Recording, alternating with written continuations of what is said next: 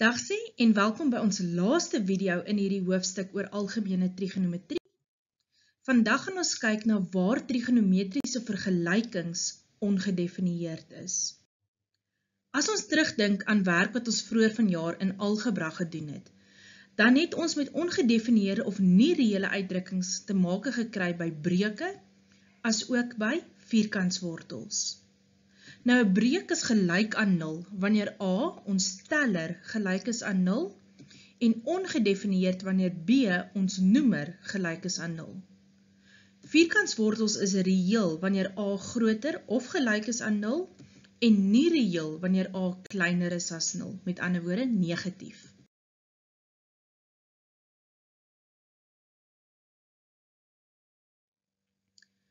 Nou wil ons kyk na identiteite. Nou hier moet jy eerstens verstaan, identiteit is synoniem vir vergelyking. So in 'n eksamen vraestel kan hulle vir jou vra los die volgende vergelykings op of hulle kan vir jou sê los die volgende identiteite op en dit beteken presies dieselfde. Nou identiteite is ongedefinieerd wanneer eerstens enige noemer in jou identiteit, enige noemer in jou vergelyking gelyk is aan 0 en tweedens in die geval van trieg, wanneer tan theta ongedefinieerd is. En onthou, tan theta is ongedefinieerd by theta gelijk aan 90 grade plus k 180 grade. So as jy dit grafies sou gaan teken het, sou dit die plekke gewees het waar jy jou asymptote ingeteken het. Kom ons bestudeer nou een voorbeeld. In hierdie voorbeeld het ons 'n identiteit, 'n vergelyking met 'n breek aan die linkerkant en 'n breek aan die regterkant. As ons nou wil kyk waar hierdie identiteit ongedefinieerd is, dan sien ek eerstens aan die linkerkant in die teller is daar 'n tan theta. So dit is die eerste plek waarvoor ons gaan kyk wat dit ongedefinieerd is.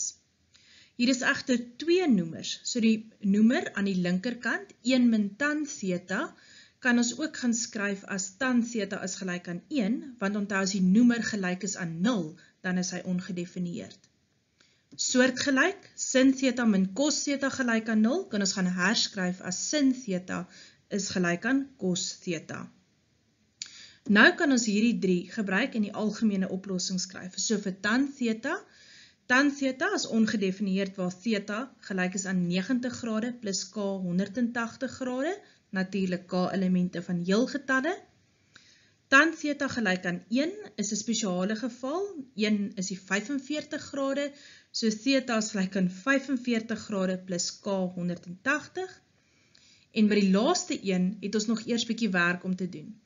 So jy sal onthou uit die vorige oefening uit, het ons hier gesien met ons beide kante gaan deel met cos theta, wat ons dan help om identiteit te kry, tan theta is gelijk aan 1, waarvoor ons dan die algemene oplossing kan bepaal.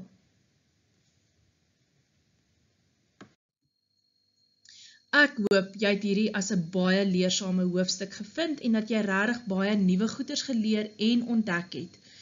En nou is die toets daarin of jy dit alles kan toepas.